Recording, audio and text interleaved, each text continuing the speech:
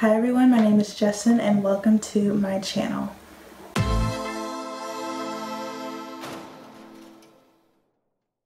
So basically I am on a weight loss journey and I have decided to document it and um, record it on YouTube.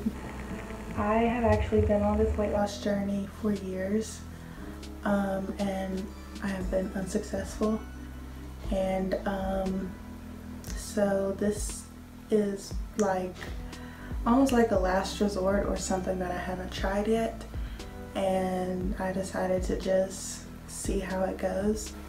So I'm going to give a little history of myself and my weight and how I got to the point where I'm at now.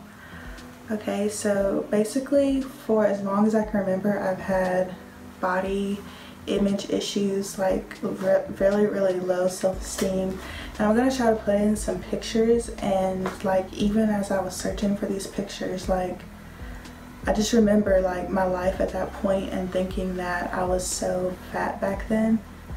But now I'm looking at it I was not fat at all in the slightest sense and like I would kill to be that size.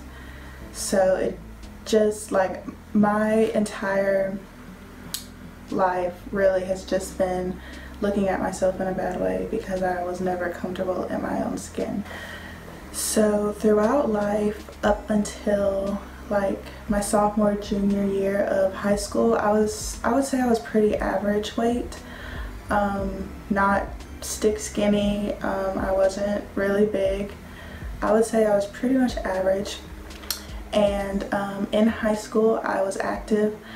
I was on the pep squad my freshman year and for my sophomore junior and senior year I was on dance line and um, my senior year I became one of the captains for the dance line and that's kind of the point in my life when things started to change and I started to gain a lot of weight.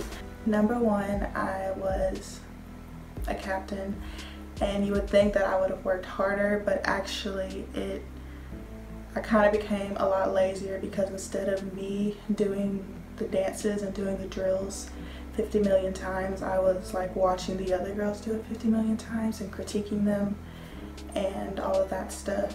So I kind of became less active and that was my only way of being active. Like I wasn't really even working out or anything back then and also that is the year that I got my first car. And I had access to a little money. And me being a senior I think we got out of school like half a day. And so all of those things combined I would literally instead of eating the cafeteria food I would just leave school every day around noon. And I would go hit up some fast food place. Um, and when once my money was all gone for the week like I would just like stock up on Hot Pockets. And literally I did that my entire senior year. All I did was eat fast food and Hot Pockets. And so all of that contributed to my weight gain. And so um, I would say when I was a senior I don't know exactly but I would say I was probably like mm, like 150-ish climbing, like steadily climbing. And um, once I was a freshman in college, once I graduated high school and went that summer in a freshman college, it just kept escalating and escalating and escalating. And it reached a point to where I was 200 pounds as I believe a sophomore in college at this point like my weight was like a big issue. It, like I said before I've already I've always had body image issues but now it was like a big issue because like I knew I needed to do something. So I began doing boot camps at um, the college I go to. I began doing like running club and stuff. I was pretty much trying to do just the exercise part um, but I wasn't taking care of the nutrition part, which you'll find out later has been my problem this entire time. So I somewhat plateaued at 200 pounds. Um, I kind of stayed at that weight for a long, long time. and um, I remember that I had this event that I really really wanted to go to and I had this cute dress that I really wanted to wear that I had but it fit but I had like a gut in it so my motivation was to lose that gut before the event and I think it was like a month away. So I did this crazy diet if you will. Um, it's called the 10 day green smoothie thing.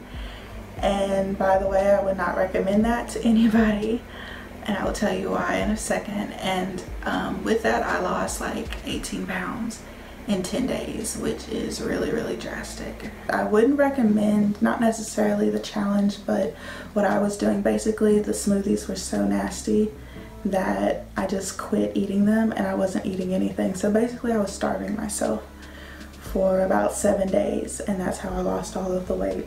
I actually did keep the weight off for a while and I was extremely confident. Um, I felt really good about myself and I was just really in a happy place at the moment. And also around this time I entered into a relationship um, and just a little history about me being in relationships. Prior to that I had been on a five year on and off relationship and it was very toxic. It just is like the typical heartbreaking, like he would constantly play me and I would break up, get back together, break up, get back together. It was just ridiculous. And that was five years prior, like my entire high school time. And um, so once I was a sophomore, I finally just cut that off completely and I finally got the strength to just walk away and not look back or go back. And so I was kind of, I guess you could say, finding myself and just finally experiencing what it is to just be on my own and not having to depend on anybody or, you know, feel like I have to do anything for anybody. And so once I lost all of that weight, I met this guy and um, long story short we began talking and um, he became my boyfriend and I will be 100% honest it was one of the happiest times of my life because he made me really happy and I just lost the weight so I thought I was like just the hottest thing in the world. And he just honestly he just really just made me happy that's the bottom line. And um, four months four or five months down the line he basically broke my heart um, I found out he was making a whole bunch of other girls just as happy as he was making me and um, honestly that was just the straw that broke the camel's back because it was like I was just going down with that five-year relationship and just losing myself and just feeling worthless. Then once I finally broke that up, I got like a lot of strength and I lost the weight and I was just going up with life and I was feeling great and I was making good grades and everything was going great.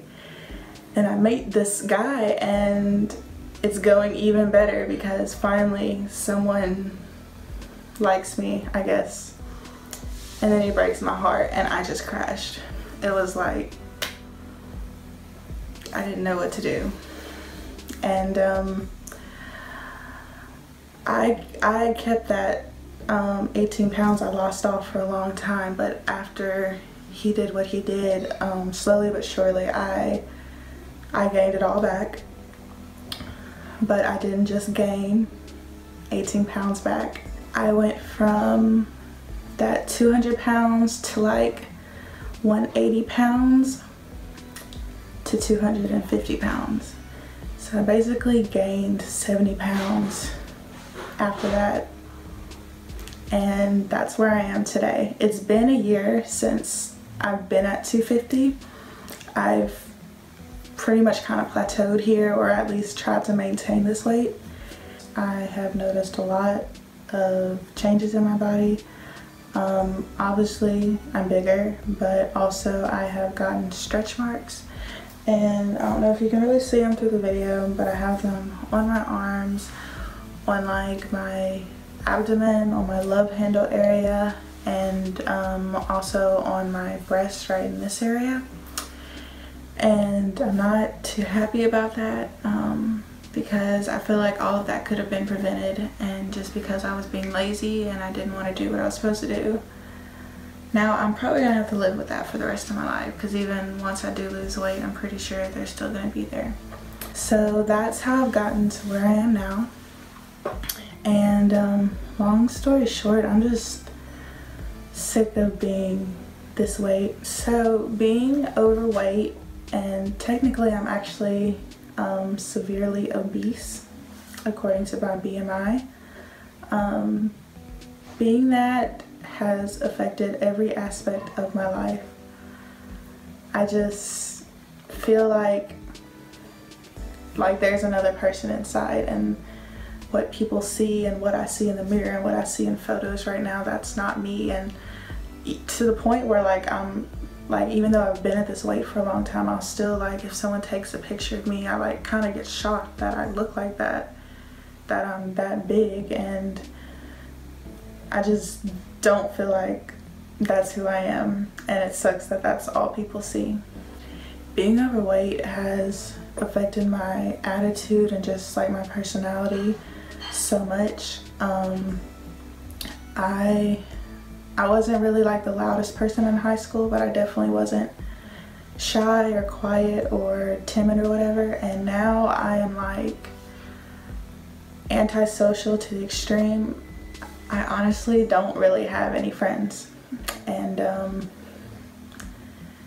I've kind of like learned to live with it and deal with it. But in the beginning, like during college, you know, that's it was kind of a big deal. I'm like, gosh, does nobody want to hang out with me? What? And there's other reasons, but a lot of it is attributed to my weight. Because of my weight, I also don't like to go anywhere. I stay at home. I go from my house to school to work and back home. At one point it peaked to where I was not just like wanted to stay to myself I was kind of like just scared to see people. And at this point I stopped going to church. I don't think I went to church for like four months straight just because I didn't want to see people I didn't want people to see me looking the way I look. Um, I wouldn't go into grocery stores um, well, I live in a small town and Walmart's all we have. So I would wait until like 2 a.m. to go into the grocery store. So hopefully not as many people would see me. Even family events, like I think I skipped out on Thanksgiving. Like I just acted like I was sick and I didn't go to where my whole family meets up at and birthday parties, everything. I just would skip out on because I didn't want people to see me and I was afraid of people. And that's not a way that a person should have to live. So my main problem with losing weight is the eating part. I, first of all, am a binge eater. Um, I love to eat fast food.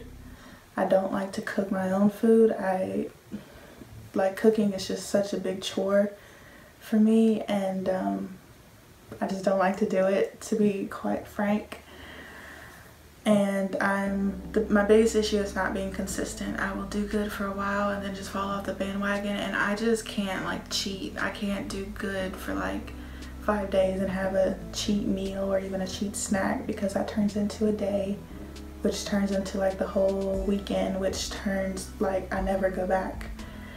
So that's my issue that I'm not consistent and I could literally like do good three days straight and then it like nothing even has to trigger me. Like I'll just eat like half a pizza by myself or I'll eat like an entire big bag of chips by myself and then I guess in my brain I'm just like well I might as well just eat what I want. I just messed it up.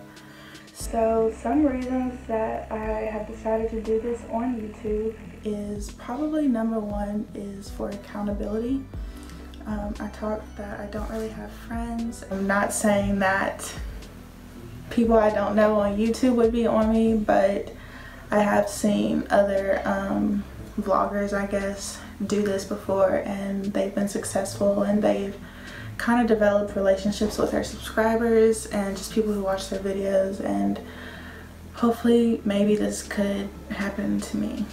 I feel like if I could possibly help someone else then that's like the ultimate dream to be able to inspire someone else because so many people on YouTube have already inspired me. And last but not least, I just feel like if not now, then when? Because like I only have one life to live and I'm tired of living it this way. I've been living it this way for like the last four years and I'm honestly just sick of it. I'm sick of looking like this. So I'm ready for this weight to come off. There are some reasons why I'm hesitant to do this.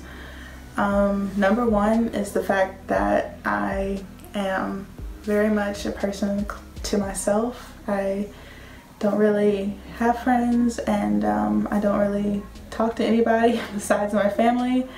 And um, I kind of just don't want people that know me to be in my business I guess. Um, obviously I'm completely like countering what I'm saying by posting this to YouTube where the whole world can see.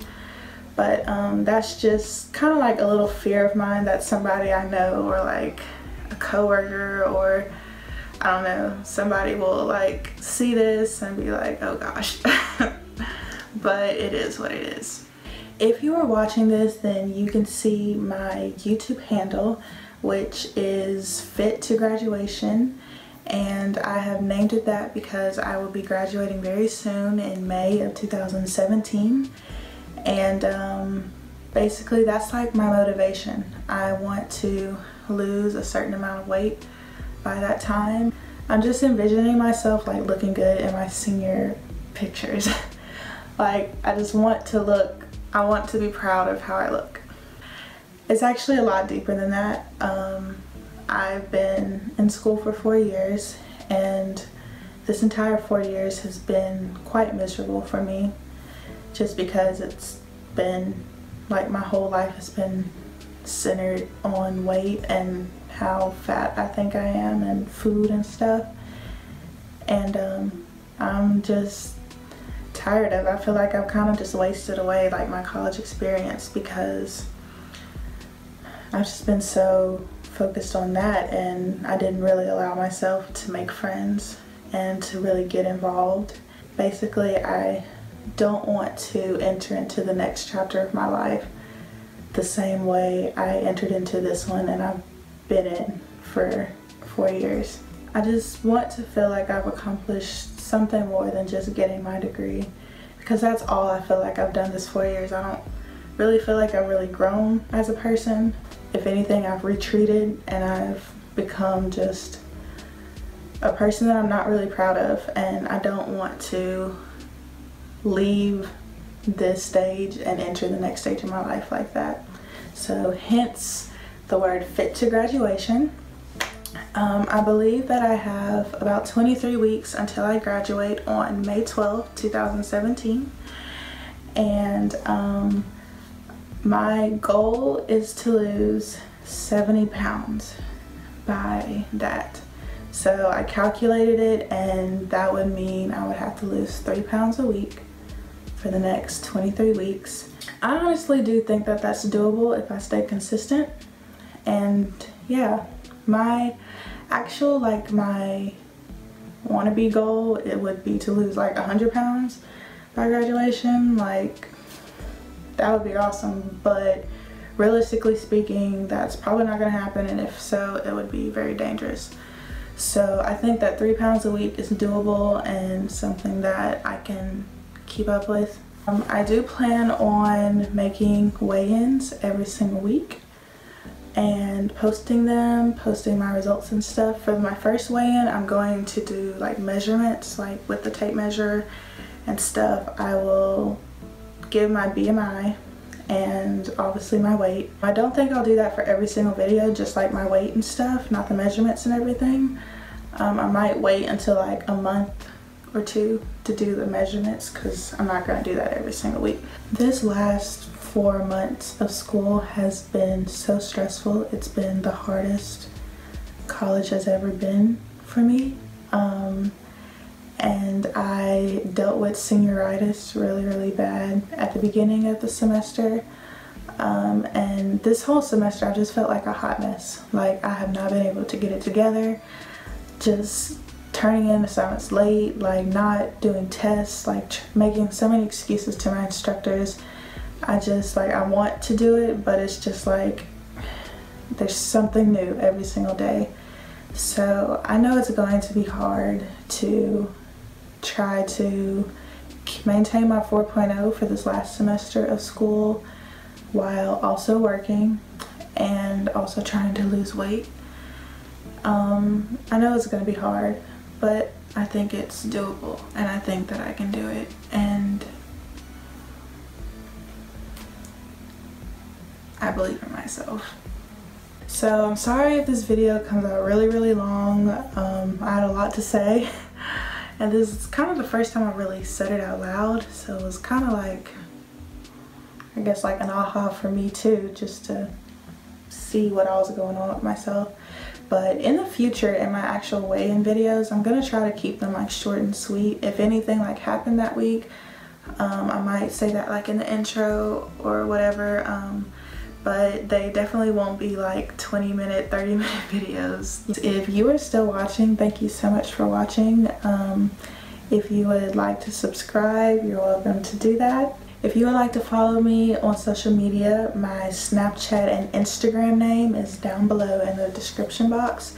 And um, on my snapchat i plan on doing like daily kind of like checking in just so you can see it like from a daily perspective rather than weekly on YouTube. If you are still watching, thank you so much for watching and hopefully supporting and everything. I really do appreciate it. And I just can't wait to see what the future holds. So thank you so much for watching and I hope everybody has a great day.